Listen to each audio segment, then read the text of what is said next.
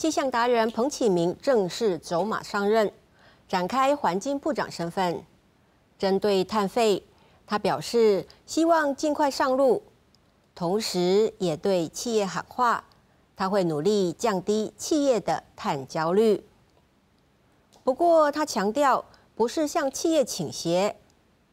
针对环保团体要求加大改善空污，他承诺会再努力。拧对毛巾，找到可以再减污的空间。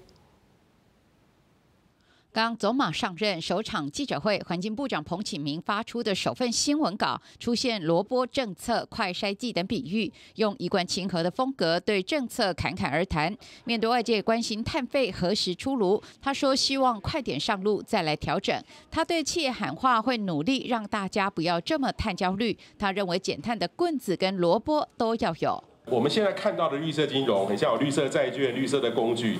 其实我个人认为。从我从民间的来看的话，那个都不够多，不够好。我们应该有更大胆的、更好的工具，能够帮助企业。我希望未来做绿色金融是可以萝卜比较大。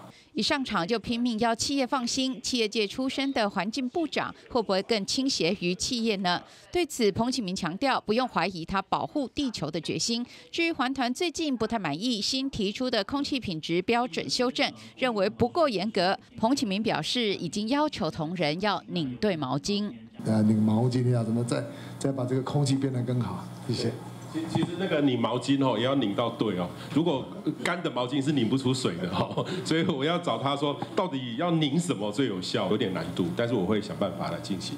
环境部不会是经济部的环保署。彭部长在面对引发争议的基隆协和电厂改建案，如此强调立场。他说，台电在七月底前完成补正资料，环境部就会召开专案小组会议审查。此次特别邀请开发单位跟公民团体，针对海洋生态、操船安全、港埠营运，各找三位专家来参与审查。记者林志文、谢奇文台北报道。